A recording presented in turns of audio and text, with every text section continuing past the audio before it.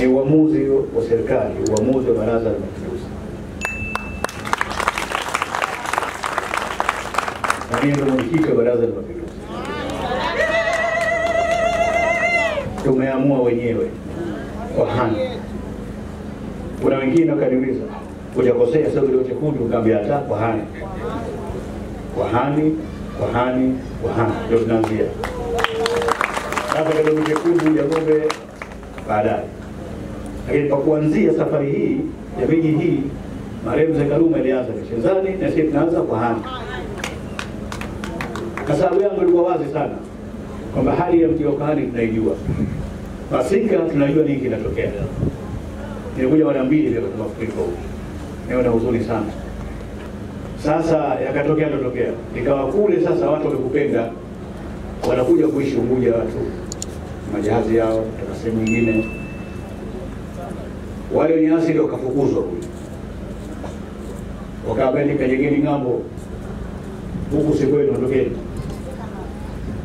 Sasa wakatoka Shangani wakajaza sawa wakaambaambaa na miji ile mpaka Urazini wakajenga na pale na pale akafukuzwa, nendeni ng'ambo, hamsikii. Hatimaye wakafanya nini? Hatimaye wakalazimika wavuke sasa, waje upande wa pili wa bahari, ndio ng'ambo. Kwa hivyo wenye uwezo wameishi mjini, majumba ya mawe, Stone Town ndio walivyoitwa, na wanyonge wakaishi ng'ambo, na wazee wetu wakaja kujenga ng'ambo. Kwa wanyonge wakabaguliwa kwa makazi.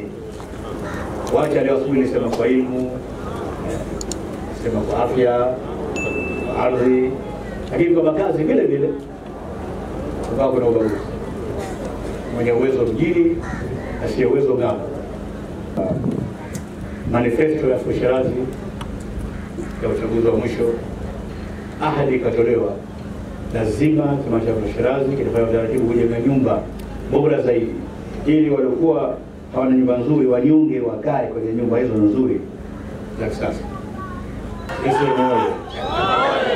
Sasa haya tumewafanya serikalini, ni maelekezo ya ilani ya uchaguzi mkuu ya CCM ya mwaka elfu moja ya mwaka elfu mbili na kumi na tano. Imetuelekeza. Tumefanya haya. Ilani ipo, kaisomeni, vifungu vipo, maelezo nzuri. Mpaka mji mdogo tushughulikie vile.